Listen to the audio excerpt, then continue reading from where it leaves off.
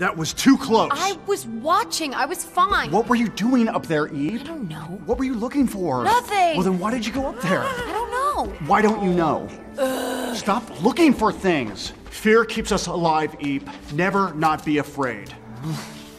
What's the point of all this? Hmm? What was that? I mean, why are we here? What are we doing this for? Oh. No one said survival was fun. Nothing is fun.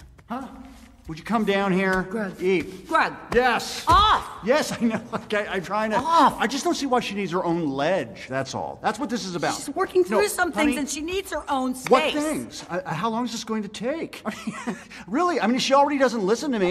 Hey! See, she's listening. If she wants to survive, she has to follow our rules. How about a story? Eep loves those. That's a good idea. How about a story, huh? Oh, yeah, tell us a story. They say I wrecked the appetite. Okay, can I borrow that? Thank you. Eat. Your old favorite. I haven't played with that thing in years. Tonight we'll hear the story of Crispy Bear. a long time ago, this little bear was alive.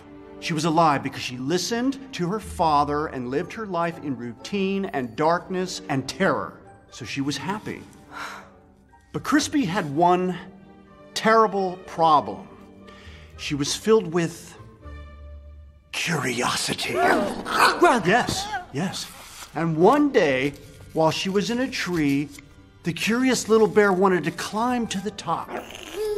And no sooner than she climbed to the top, she saw something new and died. Just like that? Yes, her last moments of terror still frozen on her face. Same ending as every day. I get it, Dad. I get it. I will never do anything new or different. Good man, Thunk. All right, everyone sharpen your teeth and let's pile up. Well, it's really coming together, Timon, so, uh, so I guess I'll just be going. I already made up two beds. One for you and one for me. We leave first thing tomorrow.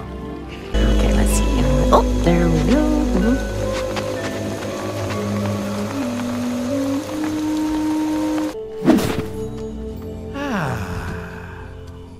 Good night.